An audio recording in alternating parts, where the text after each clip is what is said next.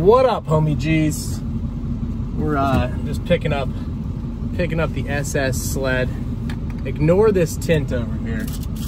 I'm too cheap to fix it. All right, just too cheap to fix it. Had to get the, uh, had to get the seal completely redone. Lots of things happening on the seal, but it's good to go.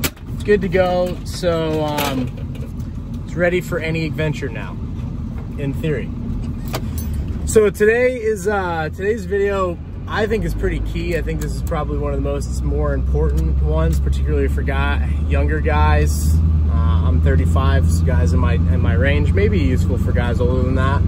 But I'm at a, uh, a pivotal point in my in my business. I'm gonna separate because I'm a dude. I'm gonna separate um, business and, and like home family stuff. So for women, they're like spaghetti, everything runs together. Men, we have boxes. I got a work box, I got a family box, I got, you know, I got boxes. So in my work box, I'm at a spot in my business where I've got to decide what my next move is because I'm at a, I'm at this weird spot in a startup business where you go from zero to 250,000 in revenue. And to get above 250,000 revenue, it's typically a mindset thing and I've done this before. I've gotten into 550 in revenue, not with this business, but like that's been my max all time, like, you know, so far. Um, and then I got to a, a point where I, I, just got smoked at the 550 level because I didn't make moves. I didn't understand at that time that, um, you know, like the team you have that helps get you to, um, to that 500 level probably needs to be removed uh, so you can go from 500 to a million. It's kind of like that no man's land where like 500 you're operating, you're there, you're you're in the game, you're if you got a burger shack, you're flipping burgers, you got a tree outlet, you're cutting trees. And so I'm like right at that spot right now where I'm working in the business all the time and I've got to figure out how to be working on the business more. And I also have to figure out what's working and what's not working. Give you an idea. I'm in a weird spot because it's not not working. And it would be much better if it was abundantly working or not working at all. And what I mean by that is after you get off of the 250 mark, which is kind of where we're at, probably in that 300, 400 range right now, depending on, you know, probably, if we keep everything the way it is now, we'll probably do like 400, 450 this year in revenue. I think target was like 550. I could probably still do it. We're going into April here. Could probably still do it. Depends on what, uh, depends on what the sales game looks like, right? But, um, but like the, the meat and potatoes of this, is I'm at a spot where I'm working in the business. I've got a repeatable process. The question really is, do I have do I have a repeatable, reliable way to bring in new customers, new business? And the answer is maybe mostly. Because like I've kind of got to a spot where like we have a nice client list built out, we've got good offerings, we've changed our offerings back and forth, so we try to figure out what the offering is. We've stumbled into a great offering, which is multiple acre properties, uh, two grand a day, massive mass reduction with haul off as an additional. And that works out really well. So now the question is, do I put three guys on crews, put them on properties, let them go do their thing, and just sell acre after acre after acre?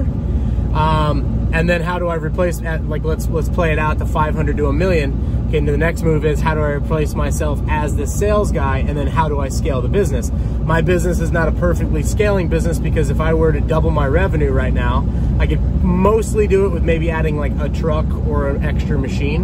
If I were to double it from there, I'd have to double all the equipment. And like every rig, every every set of equipment we run out to a house is gonna be minimum 200 grand. So it's like, okay, well then do I take the retained earnings from a year from now? Like that hasn't even occurred yet and um, and then invest all of it. So do I punt on 25? So, so 2025, do I take all the retained earnings and then double the capacity for, so for 2006, 2026, 2027, I have the ability to go to that next level or does it even make sense? And I'm in that spot where like, okay, I've got a few things working against me. I have this trend line that's really working against me which is this demographical trend. We have more people leaving the workforce than coming into the workforce.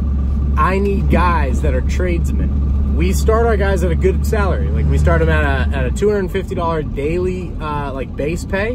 We go up from there. We revenue share with them. Our top guys are getting on our top guys on our best days are getting $420 in revenue share. So you run that out, they could make 100 grand a year if we had, you know, we were 50 weeks a year, all revenue share. It's not really ideal, not an ideal setup because um, we're gonna have rain days. That's the nature of the business. It's part of the part of the things in my business that are unfortunate. So for me, this is a means to an end business. This is not like a transformational, like changing the world thing. Doesn't really need to be because I'm 35 and I'm not over that. I definitely, I definitely have some opinions on what I want the world to look like but I'm at the spot where I can control my world and that's what I'm doing. And so the question is, is do I build this thing into a million in revenue and then do I sell it? So I've done some research and I've looked at what does a, what does a tree outlet uh, sell for doing a million in revenue with say 400 grand in gear, 350 grand in gear. And it sells for a little less than a million. So it actually makes more sense to go buy a bunch of them and put them together to get to that level and then build a team around it. So let's explore that. If I go and build a tree team, well, I have great guys. We pay them really well. Uh, I'm having a very difficult time attracting more of those great guys. I had a better time in my 20s when I was around guys that were in my 20s. Uh, the best candidates for us are 25 to 40. That tends to be like a really good, skilled, skilled, skilled, skilled guys. I don't have a network where I'm really around those guys. I'm not meeting them per se at like the gym. I'm not meeting them at church. I'm not meeting them at networking events. The guys I associate with are remote, work from home. One of my best guys is actually taking a job at the end of this week. Um, he's working with us. This will be his last week. Um, he's doing he's doing a work from home thing so he can travel back and forth and kind of snowbird it, which I think is a smart idea.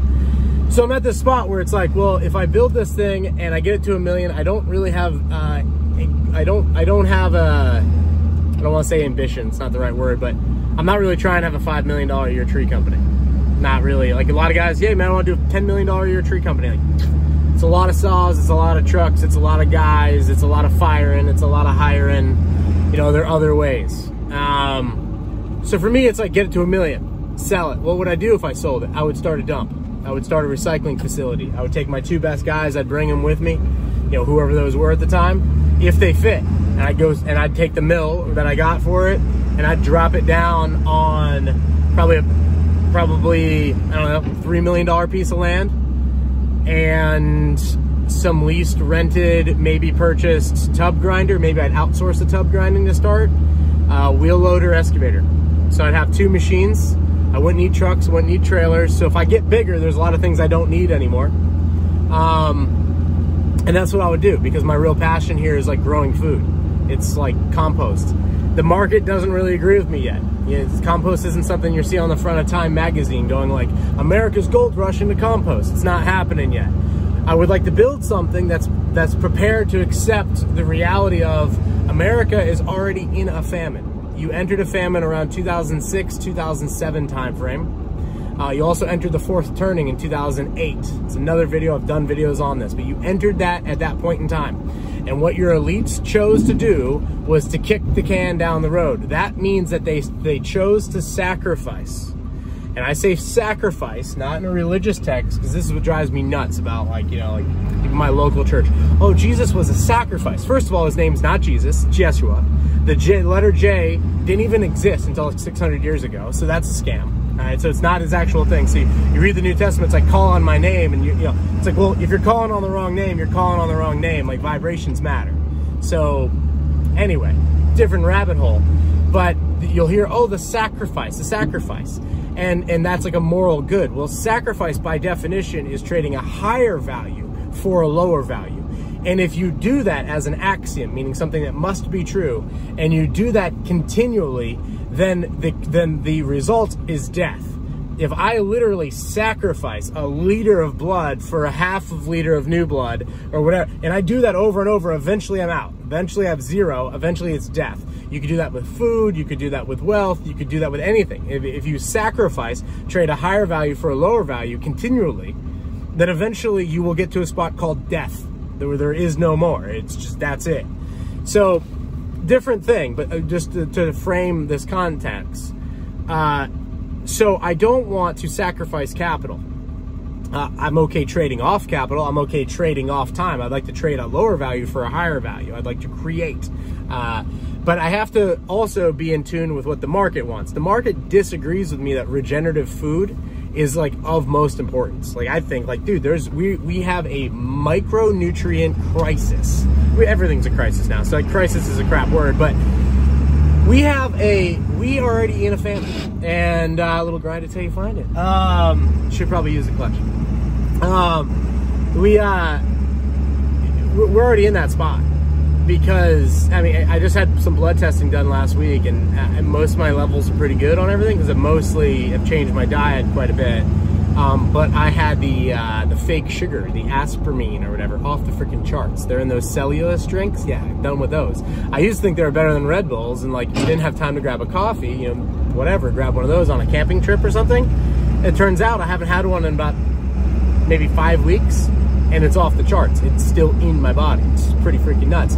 Uh, 34 countries in the world do not allow U.S. food imports meaning if it comes from America, you're not allowed to import it into your base country, call it France, uh, because our food is literally poison. Well, the reason it's poison is because we raped our topsoil. There is no topsoil left. If you look at guys like YouTuber uh, Millennial Farmer and you ask him, hey man, what's the organic content of your soil? He'll tell you 0.02. It, he has 2% organic matter in his soil. And he goes, that's actually pretty good. Like I got a DM from him. It's actually pretty good. I'm like, that's garbage. Like anything under six isn't even like trying, you know? And, um, and like, oh, that's what you do. If you're gonna till everything and then you're gonna monocrop everything, you're gonna destroy everything, then you're gonna put synthetic fertilizer on it, then you're gonna put pesticide on it. You're just destroying everything over and over. We never regenerate the land like a forest. Like observe a forest, and like what we do with forestry mulching, like we go in there, we take all the dead stuff, we mulch it up, we return it to the soil. We do 10 years of composting in 10 seconds. We're advancing, like, and we're we're living in a time in history where like we could do this, and we've never been able to do this before. Like, chainsaw was invented in 1957. So we go through two world wars without a chainsaw. 1957, we get a chainsaw, then we get chippers, we get grinders. First time in the world that we can take trees that grew for 50 years and we can make them soil in like 50 weeks. I mean, that's pretty freaking incredible. And we can make that soil, like, we can continually refresh the soil. We ain't doing it yet. So I would like to do that. The market doesn't even know about that yet, you know? So so like for for a business model, it's not really a business model yet, but I would like, I see this, I know that's where the trend is gonna go. I think that's where the trend is gonna go. I'm gonna do it on a personal level for sure. But then as I as I observe it, I'm like, man, wouldn't it be cool when Time Magazine, if Time Magazine does say America's gold rush into compost? Well, I ended up building a big a big outlet that did that. That would be the time to sell. You know, that would be the time to be like, okay, everyone else is doing this now. Cool. Um, but anyway, so I'm in this spot where with my current tree company, I've got to decide, uh, do I expand? Because I'm at that spot where I'm like literally at the spot where my old team that got me from zero to, to a quarter mil, they're phasing out. They're literally, Kurt will be the last guy this week from the original team. So he'll be gone and it'll be Trav. And it'll be like, well, now's a perfect opportunity to start a new team, like the next level team. And I've had a difficult time attracting these guys in, even at crazy pay scales. And like crazy pay scales, I mean like 400 a day, base pay, like 100 a year, let's go. Well, Trav, I mean, I like climbing for the company I climb for, and yes or no, bro, like it's, we're going to a mill or not. And I don't, I haven't found a lot of those guys that are like, mm, yeah. So what I'm thinking through is like, well, maybe I downsize it. Maybe I sell off half my gear, still maintain at 250, do more solopreneur stuff for a year or two, maybe two, uh, certainly a year, reskill myself into things that I have been putting off, like learning new skills in, like AI, writing, um, like really getting good at copywriting, really good at get good at lead generation and sales, like going to sales conferences and like learning new sales tactics and persuasion and things like that, and just specializing in becoming more of a lead generation company. Help other tree guys that do or don't have the staffing issues but are operating inside of their own businesses, help them get leads and then somehow full circle it back to I need your carbon product for my future dump or for my I can do a dump now. I already am on my own property. And kind of pivot from doing operations of, of physical trees and scale out to where I just do sales. And then I can work with you guys. If you're in Des Moines, Iowa or whatever, or you're in, uh, I know it's Des Moines, but you know, if you're over there, if you're over in Nevada, you're wherever, it's like, cool, I can work with you. Right now, if you're not in Sarasota, I can't really hire you. You know, like I've had a few people from like way out of town uh, approach me like, oh, Trav, I live in Tallahassee, which is four hours away for us. I want to come work and climb for you or do, do ground crew for you or whatever. It's like, you're in Tallahassee. Well, I'll move there. No, like anyone who hires a passerby is just not a wise, not a wise thing. So, so anyway, that's what I'm thinking through. So I'm at a spot where I continue on. So the next two year, three year trajectory is get to a million in sales, replace myself mostly. I'm still going to be a player, but I have to become, I have to go from being a player to hiring in really good operators to becoming a coach beyond one mil. I don't think I'm going to do that in this industry at this size, at this scale. So I think what I would likely do is sell it and then go again, once again, become a player at that recycling level and then redo it from there. Because I think I can go from 1 million to 5 million in revenue a lot easier uh, with, you know, with two competitors that are in the game in this town in other towns, uh, rather than there's a hundred something tree guys here and like I'm having a hard time get competing with them for their, for the employee base that is available. So I'm thinking through this, and uh, you know, let me know what you guys think in the comments. Please like these videos. Please subscribe. Liking is probably liking videos is probably the number one thing you can do um, because it shows more. It shows it to the algorithm. More people see it. So likes and comments are a huge deal. So to you guys that do that, charge Mopar. Thank you so much. You watch all these videos and like you're always in the comments, always liking, and like, dude, it seriously helps. Seriously, seriously helps. So I'm gonna back this boat into the spot. That batteries plus, I've got to get my laser pointer that I use for sales. Like definitely, oh, yeah, we're just gonna go here. Uh, I gotta get I gotta get new batteries in it. It's just not not doing what it needs to be doing. So that's where I'm at, and uh, there'll be more videos and more content on this. But that's kind of my current field position. Is we're at a cool spot, like you know, even like Kurt's last week, I'm just like, cool, we got another 10K job. We got another 10K job. Like just, they, they somewhat keep coming. I almost have a repeatable process to keep them coming in but then I'm having an issue staffing it, and then I've got to decide do I want to expand it physically and like have the insurance and all the things that we have, or is there a way that I can reduce it, kind of cherry pick, have the same net profit, and then pivot to an industry where like someone like Coach Kurt is available on a work remote program, and I can get access to him and the caliber of of human being that he is, uh, in a global sense it drives me crazy, but it, like the work from home stuff is just like the way culture's going. Finding trades guys uh, for my own operations or just for the house we're building is just difficult. Like it's just like, and over a 10 year period, man, there's gonna be so much money to be made in the trades because there's just no one there. Um, but over like the next 10 month period, the next five year period, I don't know if I want to put that extra burden on me or if I just want to go with the flow. Like if you can't fight them, join them. So that might be the way that I pivot and then it will allow me to do more content and things like that. So let me know what you guys think in the comments. If you're local and you're like, Trav, I'd run that crew for you. I needed, I basically I'm at a spot where like I need someone that would run it. I can do sales and someone would run operations and I would partner with them. Like I would absolutely partner with them and be like, yo, my goal is to scale out of this company. So you can come and work and I will like we can transfer ownership your direction as we go. Like with every revenue dollar, we can just start transferring ownership so I can scale out. So we hit a million, I'm, I'm out.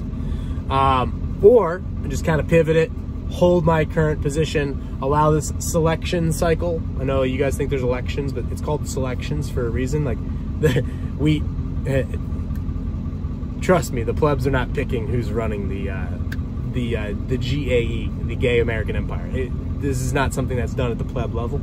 Um, but anyway, I can allow all that crazy to hopefully wash out and just kind of like fortify my position and be like, hey, we might not grow a ton, but we're going to grow a ton personally on skills. Um, or I can just go, dude, hammer down, let's go. Maybe get that million revenue in like a year, year and a half. But it's team and operator dependent. I cannot do it alone, so I have to be able to attract that team and that team is hard. It's a harder team to attract. It's much harder team to attract than like the lead gen stuff. We're like, hey guys, I need WordPress developers. Well, there's a thousand of them. Pick pick what country you want to hire from. So, let me know your guys' thoughts. See you in the comments. Peace.